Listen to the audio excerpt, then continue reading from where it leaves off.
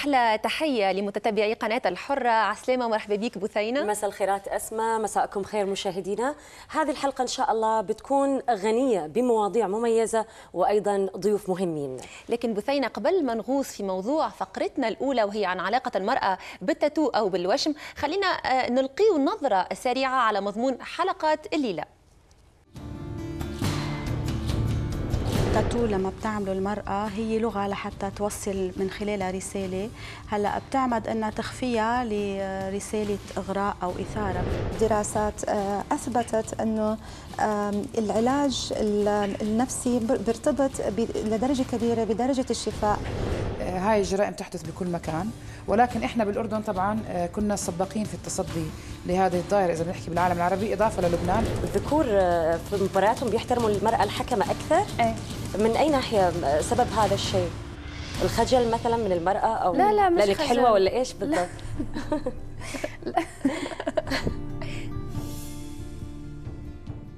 إذا حلقة شيقة الليلة بمواضيعها الطبية والسياسية والاجتماعية ولنبدأ بالوشم وهو عادة عمرها أكثر من أربعة ألاف سنة مارستها المجتمعات القديمة لأهداف مختلفة أبرزها إبعاد الأرواح الشريرة والتقرب من الآلهة اليوم تحول الوشم يا أسمى إلى طبعا موضة جريئة بين الشبان والشابات آه، قد يكون للتعبير عن الذات والتفرد والتميز. لكن كالعادة وكسائر العادات في مجتمعاتنا حدود الممارسة تبقى مرتبطة بالجندر. ومساحة التعبير بالوشم أوسع لدى الرجال مما هي عليه لدى النساء. تقرير ونتابع.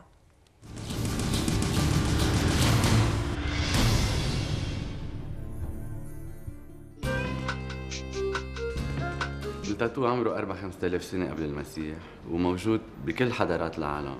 قصة كتير كتير قديمة. وبفتكر يعني التاتو من قبل ما الإنسان يبلش يكتب ويحكي كان يعمل يعمل تاتو. التاتو بالنهاية غير إنه تعبير عن فكرة أو تعبير عن شعور أو تعبير عن حالة نفسية أو ظرف معين أو شيء بده يقوله. هو كمان شيء جمالي. التاتو لأنه فيه ألوان وفيه آه، يعني هو شكل. أنا ملاحظ عم عم بينطلب هو الكتيبة. يعني في كتير كتير كتير ناس بقول لك بدل ما الاقي فكر بالمعنى كيف بدي ترجم المعنى لصورة بعملها بكلمة. في عندك عدد معين ما بحبوا إنه يبين بحبوا يعملوه بمطرح مخفي. يعني بس آه، صاحبها أو شريكها أو جوزها بشوفها. أكيد في حالات استثنائية يمكن. آه، ما فيك تجزم الكل. في ناس يمكن عملوا تاتو وبعدين قالوا يا ريت ما عملتها بالمرة. بتصير.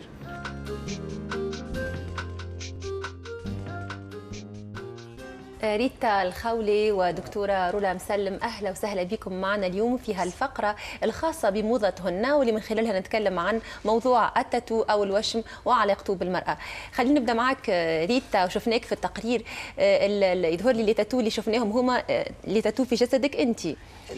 اغلبيتهم إنه مش كلهم أغلبيتهم. آه، كان تحكي لنا على المرحلة العمرية اللي بديت فيها برسم تاتوهات في جسدك وشنو يمثل لك التاتو في كل مرحلة؟ okay آه بلش كان عمري 18 سنة أول تاتو وبعدين حسب يعني كل فترة حسب شو أنا بقطع حسب شو ال- اللي شيء أنا بدي أحطه وأتذكره كل حياتي لإلي so so, uh, بيقطع يعني كل فترة بعمل تاتو وبيكون في ذكريات. يعني. ذكريات تدون ذكرياتك يعني هي على. جسدك. مزبوط و beginning لشيء و ending لشيء دائما في شيء يعني بتكوني عم تنهي وعم تبلشي نعم دكتور رولام آه، شاهدنا في التقرير بأنه آه، النساء يعمدن إلى إخفاء آه، التاتو أو وضعه في أماكن ممكن آه، إخفائها ممكن إظهارها حسب الرغبة بينما الذكور أكثر جرأة في إظهار التاتو آه، برأيك ليه طبيا؟ آه، هي هي لغة التاتو لما بتعمله المرأة هي لغة لحتى توصل من خلالها رسالة. هلا بتعمد إنها تخفيها لرسالة إغراء أو إثارة بس في غير أسباب لحتى المرأة بت- بتلجأ للتاتو.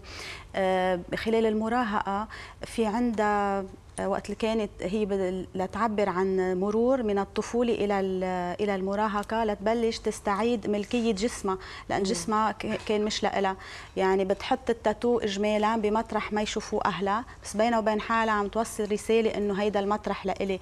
فيها كمان لكن تكون حتى ضمنيا وقت تخبي التاتو كأنها معتقدة إنه جسدها مش ملكها ملك غيرها ما هي الفكرة ملك المجتمع. هي هيدي الفكرة بالذات اللي بتخليها آه، تحط التاتو بمطرح آه، تستعيد ملكية هذا المطرح تستعيد ملكية جسمها لأنه معتبرة أنه مش ملكها ملك أهلها ملك المجتمع آه، بيتصرف فيه مثل ما بدها. في أسباب تانية لحتى المرأة بتعمل تاتو آه، فيه يكون حالة نفسية عم تمرق فيها بتعبر عنها لأنه هي بتبقى مش فهمانتها الحالة النفسية. هون نحن دورنا آه، نشرح آه، شو هي شو هي الأسباب شو اللي بيكمن ورا هذا الشيء إنه بتبقى مش فهمانة شو الرسالة اللي بدها توصلها إن كان لنفسها ولا إن كان للآخر أو للمجتمع.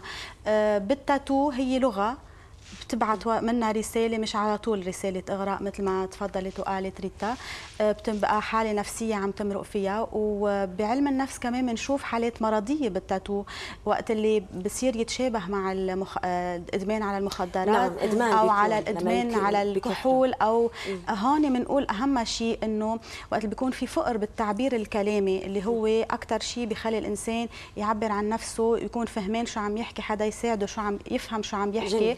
وقت اللي بيكون موجود الكلام يعبر بالتاتو. بيعب وقت لو اللي بيكون موجود. في فقر بالكلام بيعبر بالتاتو ريتا طبعا أنت. دائما فاهمة أنت إيش بتعملي لما ت- ت- ترسمي على جسدك. لكن ودي أنتقل لك آه، أنتقل معك إلى رد فعل المحيط. أهل آه، شريك آه، أصدقاء ناس في الأماكن العامة. كيف رده فعلهم لك كامرأة يعني تحديدا؟ هلا أول شيء أكيد لما تعملي تاتو ما بتكوني عم تفكري بالرأي تبع الآخر. ما بيكون كثير مش بيهمك بس بيكون أكثر بيهمك أنت رأيك.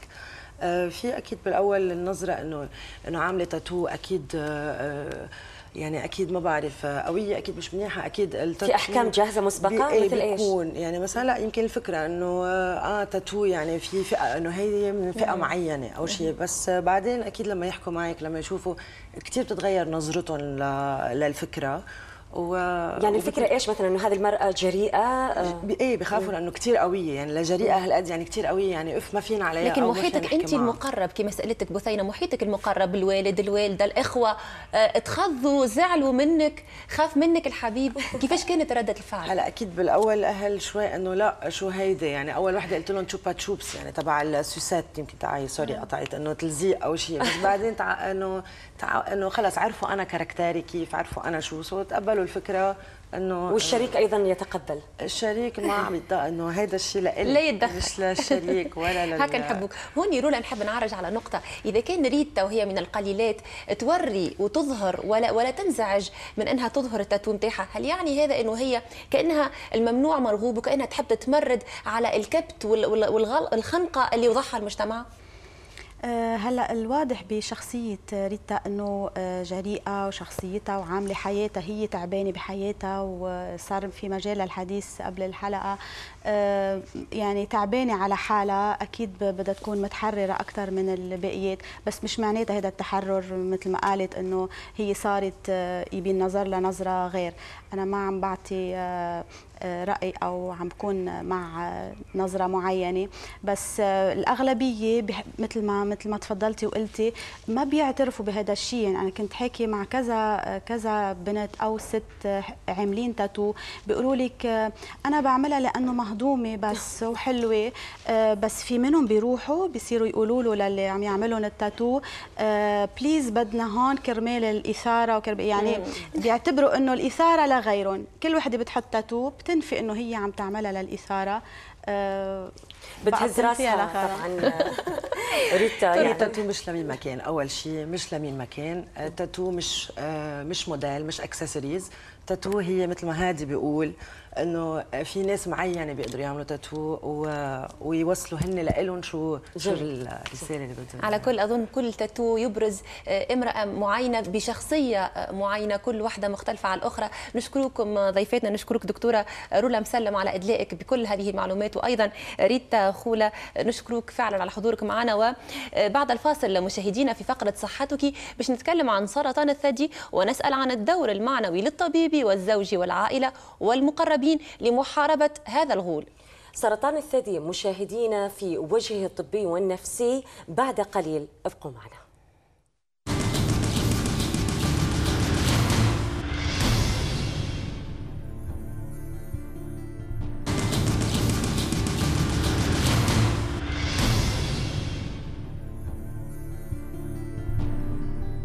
يعد مرض سرطان الثدي الشبح الذي يهدد راحة النساء النفسية والجسدية وينقص من رمز أنوثتهن وأمومتهن.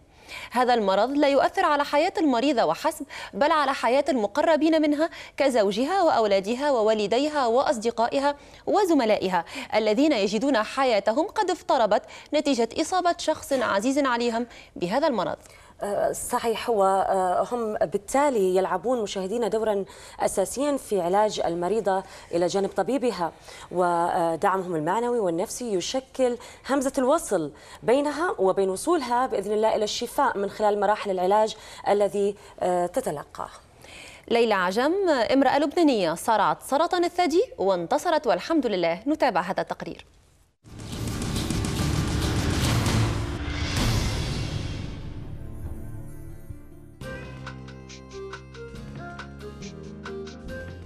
كنت قاعدة عم بعمل brushing لشعراتي فبما إنه في brushing ما بسمع بس عرفت إنه رقمه للحكيم. فظهرت لبرات الصالون لحتى أسمعه شو عم بيقول لي. فاجى قال لي ليلى طلع طلع معك cancer بصدرك اليمين. هيك قال لي. قلت له شو يعني cancer؟ قال لي يعني tumor بصدرك اليمين. قلت له شو يعني tumor؟ بطق يعني مش عم بستوعب شو عم بيقول لي الحكيم.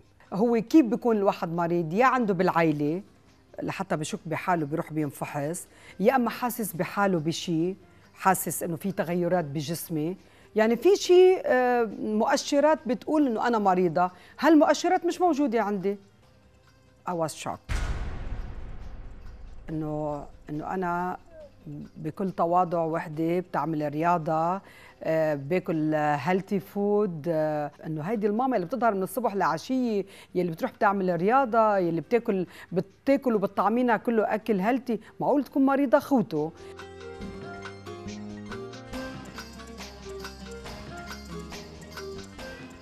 ببيروت اولادي الأربعة كانوا جنبي. عندي بنت نور اسمها كانت مبلشة شغل جديد. دغري عملت استقالت من شغلها لحتى she devote herself تركت كل نفسها لإلي. عندي بنت ساكنة بهيوستن أجت قعدت عندي بفترة العلاجات وعندي بنت بلوس أنجلوس ضلت قاعدة معي وابني. فالأربع أولاد حطوني وقعدوا.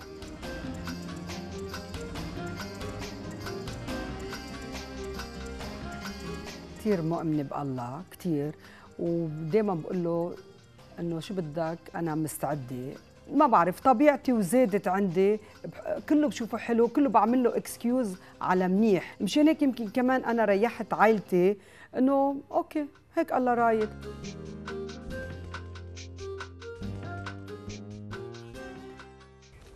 نرحب بوجودك معنا دكتورة سناء حوامضة أنت أخصائية صحة نفسية وأيضا بدكتور علي شمس الدين وأنت الطبيب المعالج للسيدة ليلى عجم التي شاهدناها قبل قليل في التقرير.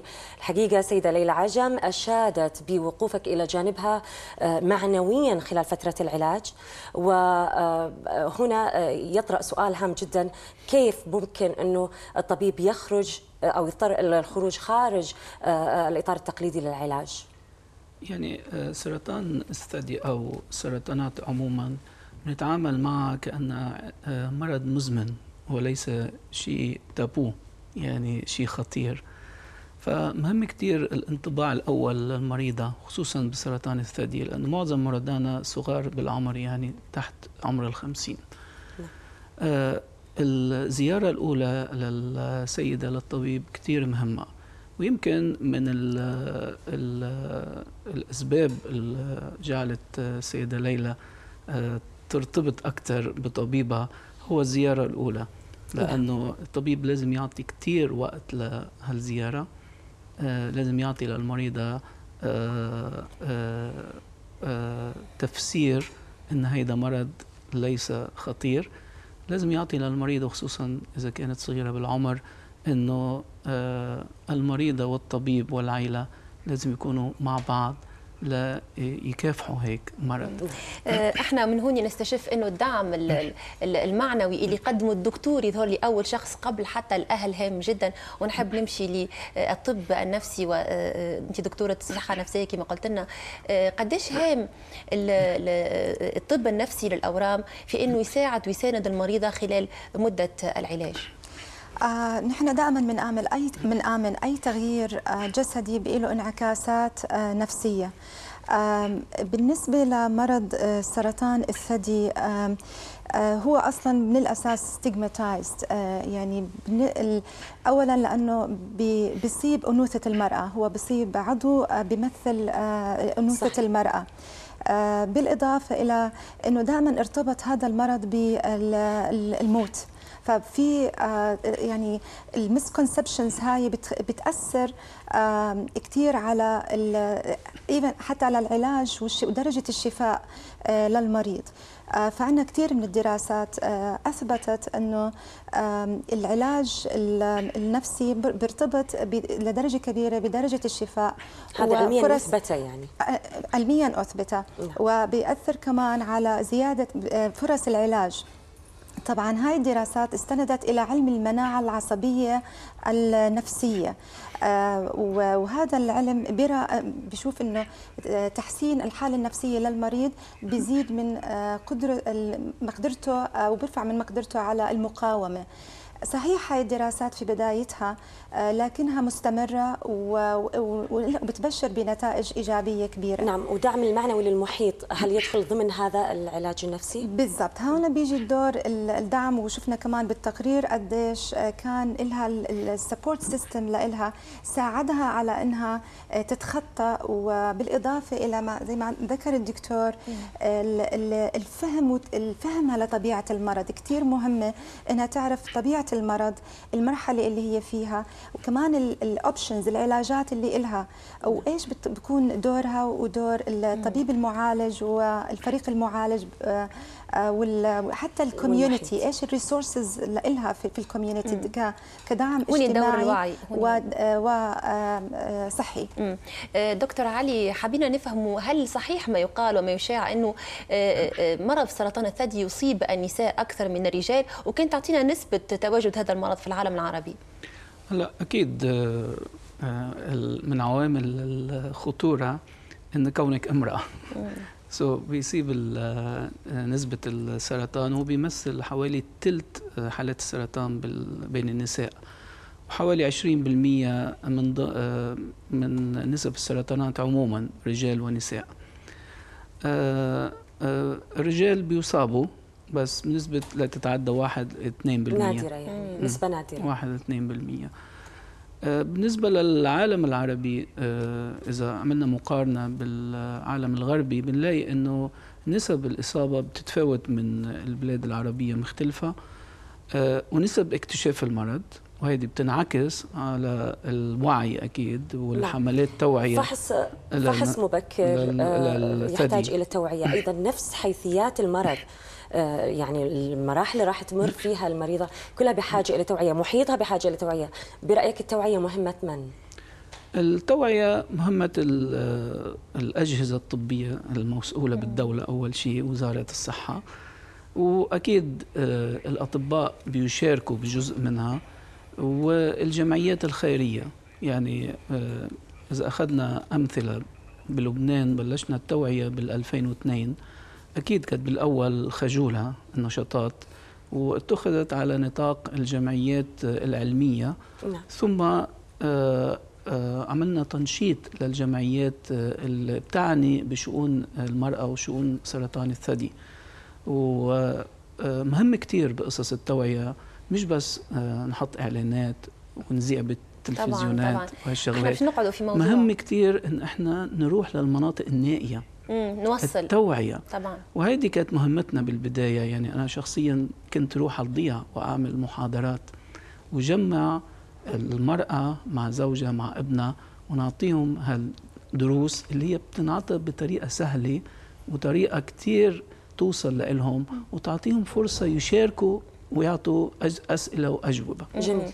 آه، دكتورة سناء المرأة نعرف أنها في فترة العلاج تمر بمراحل فما مرحلة العلاج ال- ال- الجراحي ومرحلة العلاج الكيميائي. ويظهر لي في المرحلتين المرأة محتاجة وتوافقني دكتور علي محتاجة للعلاج النفسي. في أي مرحلة أكثر هي محتاجة للعلاج النفسي؟ وهل الزوج آه، يكون واعي يعني يت- يتم توعيته من خلال ال- ال- الطاقم الطبي بالمرحلة الأهم اللي تحتاج فيها شريكته ليه؟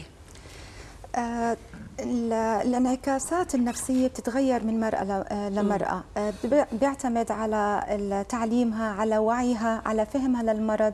كل مرحلة في لها أثار نفسية على المرأة وعلى عائلتها. آه، فلازم يكون في آه، يعني معرفة إيش الستريسرز اللي بيمروا فيها ويكون في آم، يعني دعم أو تفهم وكمان في عنا تطبيع في عنا راح يكون بالنسبة للرجل آه، لازم يفهم إنه في تطبيع عاطفي جديد آه، في تطبيع حياتي في تطبيع مادي آه، كلها هاي المجتمعات بتساعد على إنها تشعر المرأة انها هي مش بيردن على العيلة. آه، نعم، مش هم. موجودين مش نعم. عبء. هم موجودين أو والمسؤولية مشتركة. خلال العلاج الكيميائي يظهر لي أكثر فترة تتعب فيها هكذا ولا إيه؟ بالضبط. هو ممكن نحكي العلاج الكيميائي لأنه في له الأعراض الجانبية.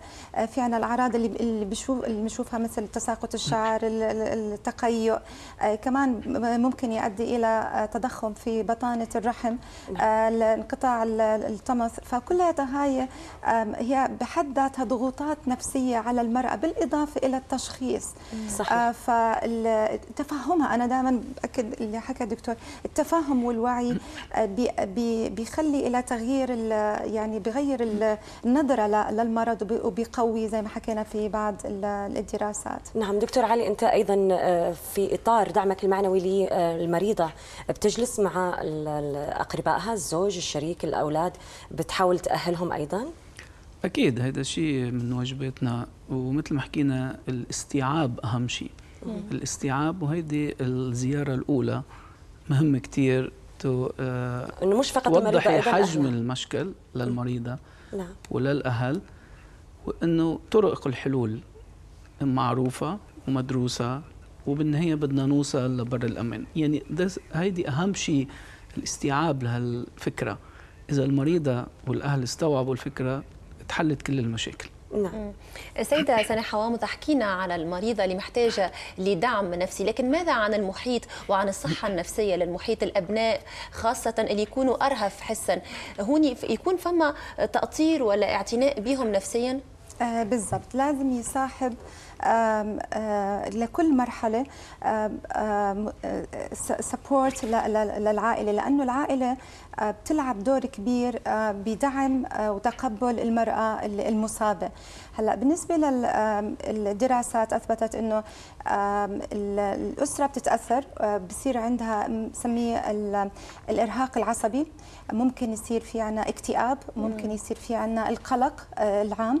آه، كلها هاي العواطف السلبية الناتجة عن هاي ال- ال- ال- الأثار النفسية أو الجانبية أو تداعيات المرض كلها لازم إحنا نحاول إنه آه، بالبداية نحدد وجودها ون- ونتعامل معها آه، على على حدة. لأنه ممكن تأثر في النهاية على آه، المريضة نفسها. بالضبط نعم، بتأثر على. إنها هي كمان تتقيد لأنه كثير ممكن هي كثير من الحالات ال- المرأة ما بتتقيد بالعلاج مش كونها مش متف- متفاهمة أو متوعيه يعني خايفة خايفة خايفة من المجهول. مثلا كثير من ال- الأهل بتلاقيهم مجرد ما صار في عنا حالة سرطان بيعلنوا الحداد المبكر.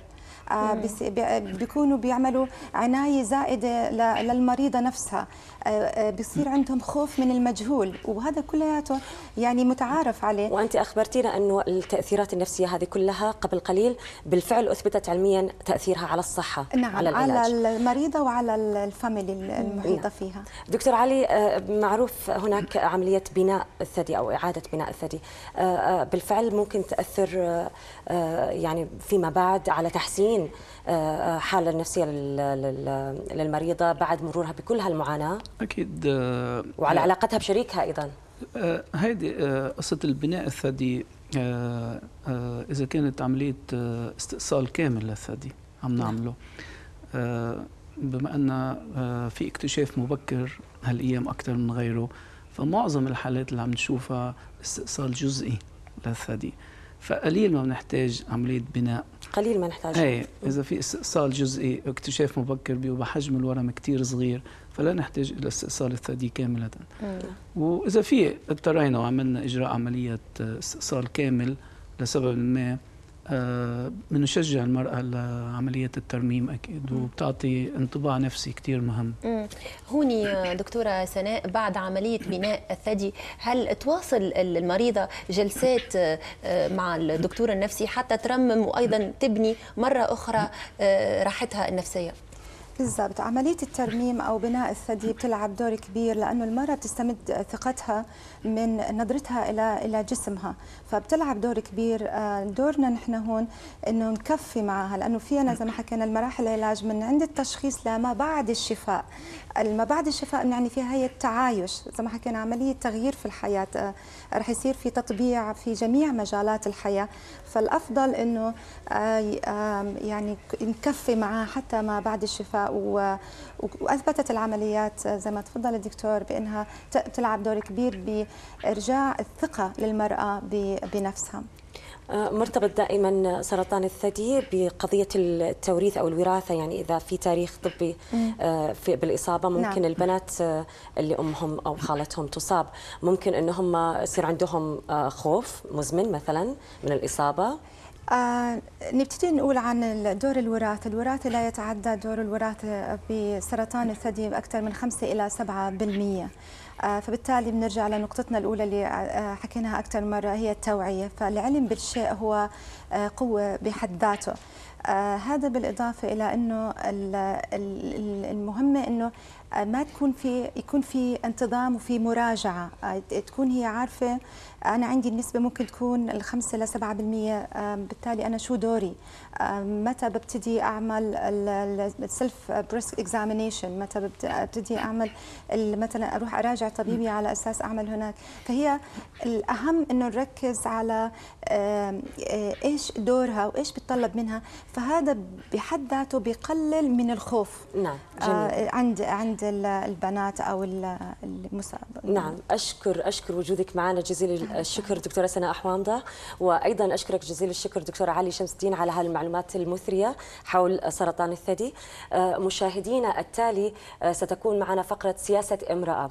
جرائم الشرف في الأردن القوانين عدلت لكن الثقافة الاجتماعية يا أسماء بقيت كما هي. هذيك علاش نتساءل متى يصبح مرتكب الجريمة مرفوضا من مجتمعه. ابقوا معنا فاصل ونعود.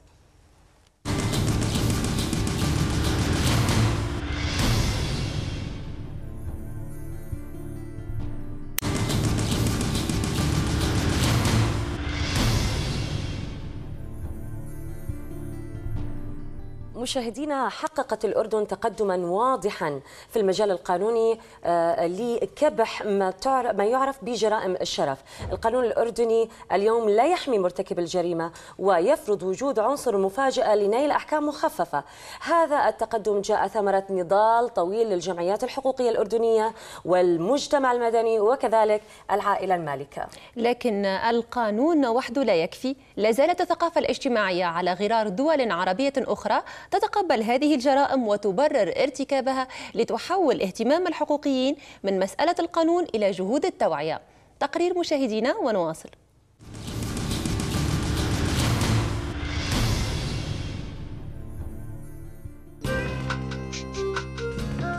بعد تسعة أعوام من تعديل الحكومة الأردنية قانون جرائم الشرف وترك الحكم لقرار القاضي أصبحت مؤخرا عقوبة هذه الجرائم في الأردن السجن. لمدة 12 سنة. وتعطي المادة 340 عذرا مخففا لمرتكبي جرائم الشرف في شرطين أساسيين هما المفاجأة والتلبس.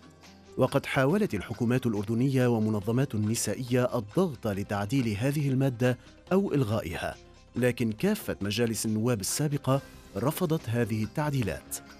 يأتي هذا القانون بعد معاناة مريرة مع واقع جرائم الشرف.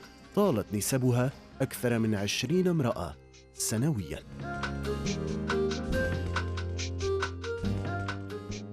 أرحب بضيفتي من الأردن أستاذة أنعام العشا من منظمة Sisterhood is Global. مرحبا بك. أهلا بك. وأيضا حسيني الكاتبة والصحفية والناشطة الحقوقية. مرحبا بك. أبدأ معك رنا إذا سمحتي لي. يعني الآن ما يعرف أو ما يسمى بجرائم الشرف في الأردن ما هي أسبابه؟ طبعا يعني إذا بنطلع الأسباب نقدر نحكي إنه هاي الظاهرة موجودة منذ القدم. منذ العصور القديمة وإذا بنتدرج بالتاريخ نجد أنه العنف ضد المرأة كان متواجد في كل المجتمعات وحتى في بأوروبا إذا نحكي بالعصور الوسطى كانت المرأة تعتبر ساحرة أو إذا تم إذا ارتكبت الزنا كان يتم معاقبتها وحتى بالعصور القديمة كان يتم معاقبة المرأة أحيانا والرجل لا تتم معاقبته فيعني أنا برأيي أنه هذا مش شيء يحصل مش شيء يحصل حاليا أو هو مرتبط بدولة معينة أو دين معين أو طبقة معينة. أنا برأيي من خبرتي وبحثي 17 عام بالموضوع هاي الجرائم تحدث بكل مكان ولكن إحنا بالأردن طبعا كنا سباقين في التصدي لهذه الظاهره إذا بنحكي بالعالم العربي إضافة للبنان لأنه لبنان اشتغلوا كثير على موضوع القانون. تختلف من منطقة لأخرى الحساسية في الأردن حساسية ضد بتوقع أنا نفس الشيء أنا بتوقع بالمنطقة العربية إذا نحكي كمنطقة عربية بتوقع إنه التفكير تقريبا نفس الشيء يوجد تفكير ذكوري يحمل المرأة. في الأردن أقصد من منطقة الأخرى من بلدة لا الأخرى. لا لا يعني تختلف الحساسية لا أنا حسب ما شفت حسب ما غطيت تحدث الجرائم بكافة المحافظات والمدن. يعني في ناس بيعتقدوا أنه هي تحدث أكثر بالمحافظات مثلا. نعم. ولكن أكثر الأرقام المبلغ عنها خلينا نحكي هي بعمان وإربد والزرقاء. وهي آه وهي أكثر مناطق مكتظة سكانيا. هلأ بالمحافظات يعني ممكن ممكن أنه تحصل جرائم لا يتم التبليغ عنها ولكن العدد مش كبير يعني. توا سيدة رنا نعرف أنه عدلت المادة 340 مادة العذر المخفف وأوقف العمل بالمادة 98 من قانون العقوبات. نحب نعرف مع هذا التقدم في القانون على أرض الواقع هل نلمسوا أنه صحيح فما تدني في نسبة جرائم الشرف ولا الحال على حاله؟ يعني السنة تبلغت عن 14 حالة. مقارنة بالسنوات الماضية مثلا السنة الماضية مع نهاية شهر 12 كانت 22 حالة. فبتوقع إنه ممكن يكون في تدني ولكن صعب كثير إنه نعرف لأنه في حالات ممكن لا يتم التبليغ عنها أو حالات تسجل كانتحار أو غيرها أو في عندنا أكثر من حالة السنة طلعوا القتلة ناس مجنونين نفسيا. وأنا هاي أول مرة بسمع فيها يعني بالأردن إنه صار عندنا أكثر من واحد لبسوهم هاي القصة. هلا ممكن هذا صح؟ ممكن هذا خطأ. ولكن بشكل عام أنا زي ما حكيت إنه أهم شيء عندنا إنه صار في وعي كبير. وأهم شيء إنه في صار كمان حوار مجتمعي وحوار بالصحافة. وأنا بعتقد إنه هذه هي الطريقة لتغيير هذه المفاهيم إنه يكون في حوار. هو الحوار هو اللي بغير كل شيء هو اللي بيرفع الوعي. عملكم الحقوقي أستاذة أنعام آه الآن كمنظمة نسوية آه هل برأيك يجب أن يوجه أيضا كما قالت رنا نحو التوعية أكثر آه توعية من أجل تغيير المفاهيم الثقافية أكثر من القانون أو العمل على القوانين؟ هو بصراحة جملة التغييرات اللي صارت على القوانين بما فيها المادة 340 ما جاش من فراغ. أصلا كان ينشغل من قبل منظمات المجتمع المدني والمنظمات النسوية على التعديلات القانونية تغليظ العقوبة عشان تكون رادع. لكن العمل باتجاه القانون لوحده لا يكفي. يعني نحن فاهمين من الأصل أنه دورنا لازم يكون باتجاهين. ما نشتغل بمسارين بنفس الوقت باتجاه تعديل القوانين وتغليظها وتشديدها وحتى التغيير بذهنية القضاة لأنه هم اللي بيصدروا الأحكام والقاضي عادة عنده الحد الأعلى من العقوبة والحد الأدنى وهم جزء مهم من يعني هاي العملية. نعم. والاتجاه الآخر نحو تغيير الثقافة المجتمعية. لكن زي ما أنت عارف يعني التعديل بالقانون هو مش سهل صعب لكن الأكثر صعوبة التغيير باتجاهات الناس وثقافتهم. هي ثقافة متجذرة ما راح تغيريها أنت بسهولة. لكن إذا إحنا غلظنا القانون من ناحية واشتغلنا على وعي الناس من ناحية ثانية بيحتاج له وقت لا يصير تلمسي آثاره. العمل بالتوازي يعني. بالضبط بالإضافة إلى أنه يعني عندنا إحنا عمل منظمات المجتمع المدني كل الجهات يعني حتى هناك إرادة سياسية واضحة نحو التقليل من يعني هذا النوع من الجرائم وأجا من خلال المصادقة على التعديلات القانونية أو السعي لهذا التغيير. وزي ما حكت رنا السنة لحد هلا إحنا شهر 12 عندنا 14 جريمة معلنة أنا بحكي. لكن بالقياس مع سنوات سابقة وصل في بعض السنوات قديما ل 30 حالة المعلن سابقا أكثر.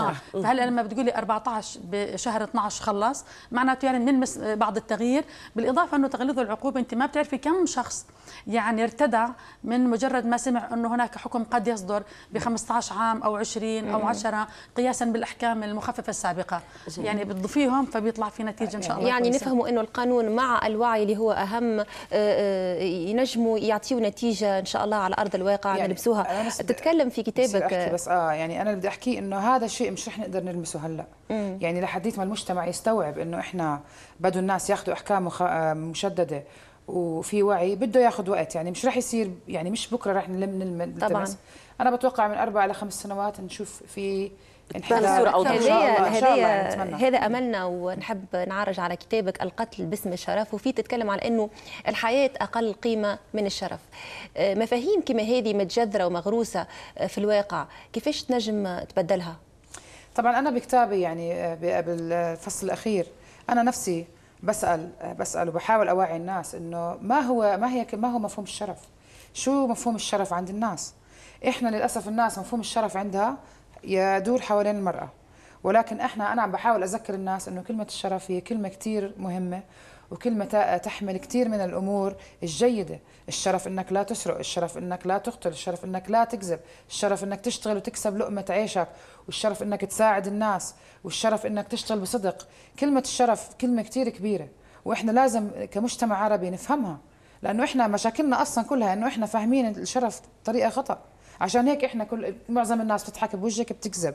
آه، بيعملوا كثير من الأمور الخطأ وبعدين بيجي بتمسكوا بس بشرف المرأة. الشرف إنك تتمسك بالأشياء الحلوة الموجودة بمجتمعنا وليس شرف المرأة. إذا هو أكثر من موضوع آه، الشرف قد يكون تضحية طبعاً. المرأة تكون أضحية من أجل الجماعة والتمسك بالجماعة وعدم نبذهم للأسرة يعني هو. تم ربط المفهوم الشرف بجسد الأنثى تحديدا حصريا ومش بكل جسدها بجزء من جسد بجزء المرأة. تناسلي، نعم. ونوع واحد من السلوك يعني وهذا مهين يعني مهين لكلمة الشرف ومفهوم الشرف في هذا الإطار, الإطار ماذا تفعلون أنتم كمنظمة تضامن آه، نسائية آه، في سيستر هود جلوبال آه، صحيح في جملة من آه، المسارات اللي بنشتغل عليها ال- الأكثر زي ما حكيت لك آه، اشتغلنا بشكل جاد من سنوات طويلة آه، مع منظمات آه، أخرى يعني مش لحالنا باتجاه تسليط الضوء على النصوص التمييزية فيما يتعلق بقضايا النساء عموما وفيما يتعلق بالنصوص اللي بتطبق آه، في خلال آه، الجرائم القتل على خلفية الشرف نحو تغليظ العقوبة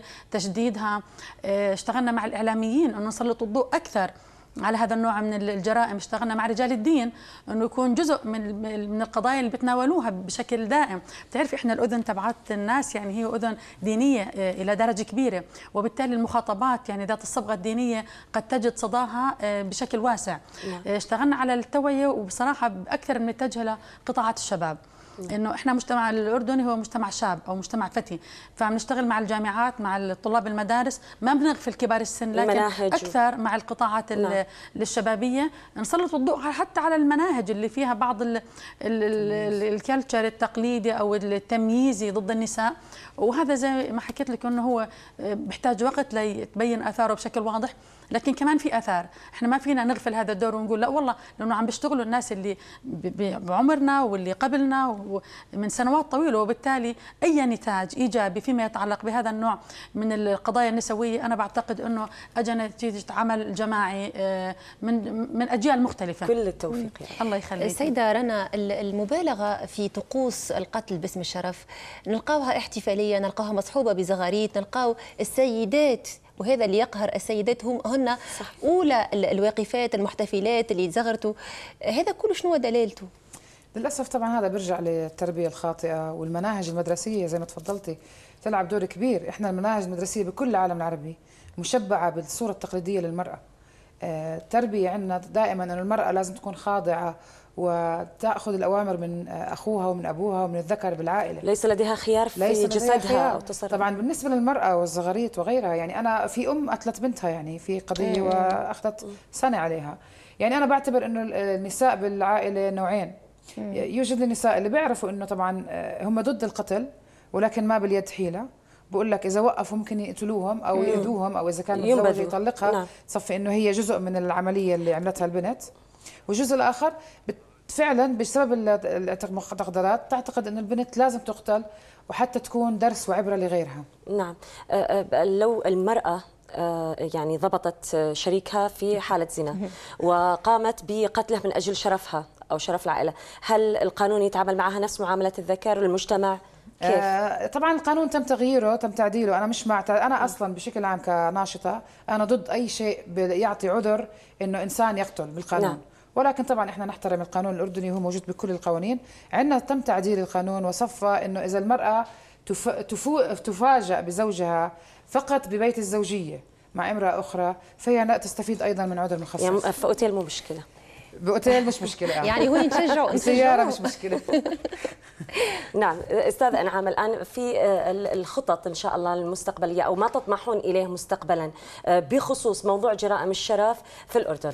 أنا يعني قبل الخطط بدي أحكي لك إنه أنتم حكيتوا على المرأة لما تكون شريكة. نعم. في ارتكاب هذا النوع من الجرائم. م. بصراحة يعني هذا في نوع من الظلم حسب وجهة نظري وحسب مشاهداتي. هلا المرأة هي جزء من هذه الثقافة مش خارج الثقافة. وهي إذا إذا شارك البعض منهم هم قلة قليلة. وعلى الغالب هي بتكون مدفوعة بالخوف مدفوعة بحالة رعب. بدها تعلن براءتها. أنا يعني إذا نعم. تعلن ادانتها لهذا الفعل يعني عشان تحمي نفسها.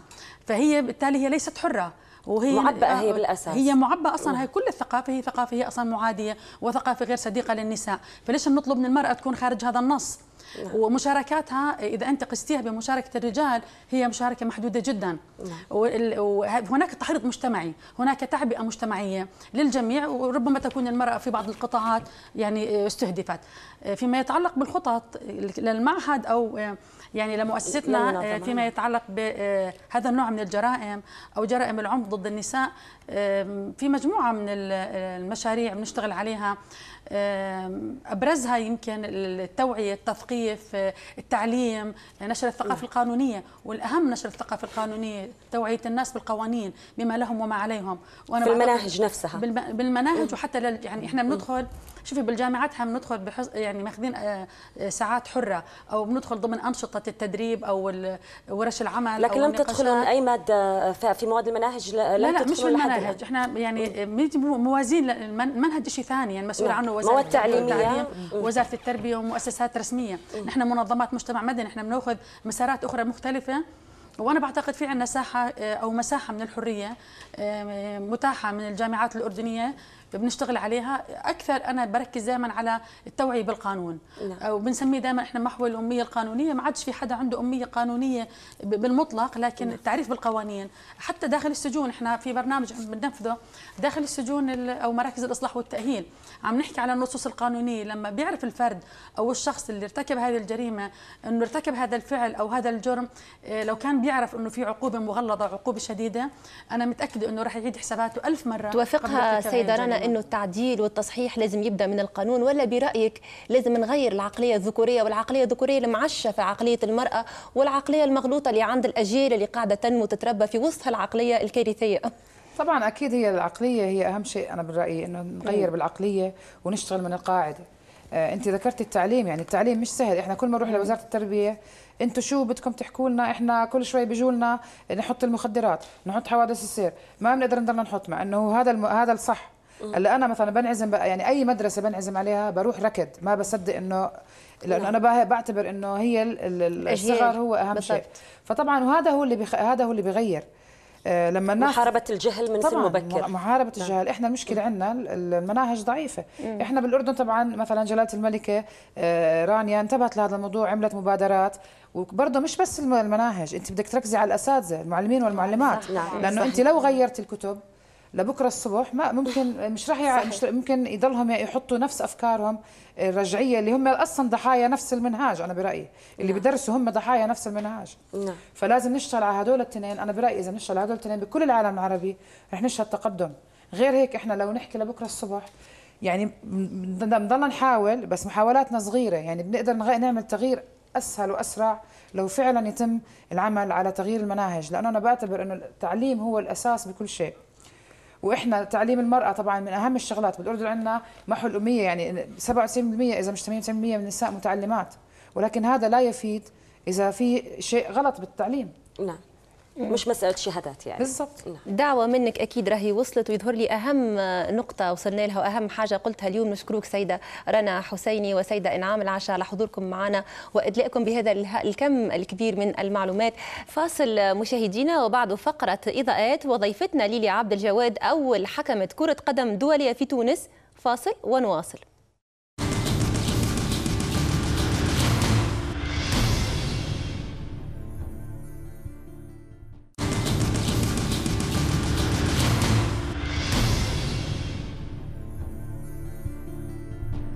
ضيفة إضاءات هي ليليا عبد الجواد أول حكمة كرة قدم دولية في تونس.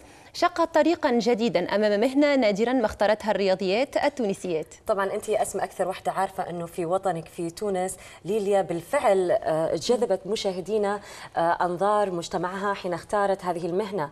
ونالت اهتماما قد يساوي اهتمام مشجعين كرة القدم التونسية بنجومهم. هذا التقرير عن ليليا ونتابع.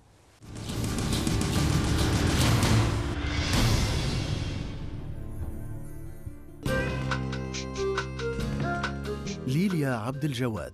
أول تونسية تحكم في نهائي كأس تونس لكرة القدم النسائية عام 2007 هاوية الكرة الطائرة درست الفنون الجميلة ثم انطلقت محكمة دولية في ملاعب تونس. دخلت للميدان التحكيم عن طريق الصدفة يعني نلقى في جريدة إعلان يحبوا حكمات قلت علاش نجرب حظي؟ دخلت. أبرز المباريات اللي كانت اللي في بالي اللي هي فريق الأمال كانت في الوطني أ ترجي جرجيس وحمام لنف و يعني والمباريات الودية المنتخب التونسي ضد منتخب ألمانيا المنتخب التونسي ضد منتخب الفرنسي وكانت زاد مباراة أخرى اللي هي في نطاق تصفية كأس أفريقيا. اللي هي المغرب والسنغال ابنة الثلاثين عاما لم تكتفي بتدريس التربية التشكيلية أو المباريات الوطنية بل تطمح إلى المشاركة في كأس أفريقيا وكأس العالم في بالها. أنا خريجة معهد فنون جميلة يعني قاري مادة تربية تشكيلية. قريت في معهد خاص قريت في مدرسة إعدادية. لكن حاليا أنا يعني نقري في جمعية تأهيل معاقين نحب ماذا بيا راني نكون من من من أحسن الحكمات المتواجدة إما على الساحة التونسية وإلا على الصعيد العالمي جرأة ليليا باختيار مهنتها وجهت أنظار المجتمع إليها. وبكل روح رياضية هي امرأة لا تتوانى عن رفع البطاقات الحمراء.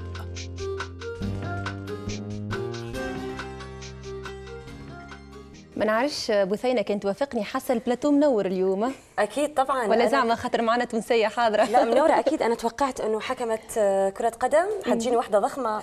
تفاجأت بواحدة جدا. نعومة وحمامة ما شاء الله يعني.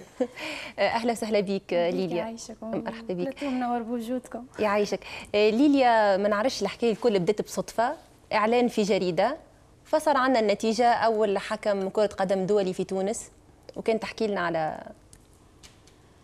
بالنسبة للتحكيم دخلت عن طريق الصدفة كما قلت أسماء. إعلان في جريدة لكن قبل التحكيم كنت لاعبة كرة طايرة لمدة ثلاث سنوات. بعدين كما قلت بالصدفة أنه دخلت للميدان هذايا تدريجيا. يعني خطوة خطوة باش وصلت للمستوى هذايا. نعم بيقولوا إنه دائما الرياضة أي مجال رياضي بيحتاج شخصية تنافسية بتحب تنافس. أيضا الحكم مطلوب إنه تكون عنده هالشخصية وأنت كيف درجة التنافسية عندك؟ أكيد أكيد وخاصة في مجال التحكيم لازم تكون درجة تنافسية قوية لكن بنزاهه يعني. أكيد طبعا. إيه آه لأنه باش إنك تكون حكم ويعني وتقف في نفس المكان ما تنجمش توصل. نعم. لازمك تكون عندك طاقة كبيرة باش توصل للمستوى عالي.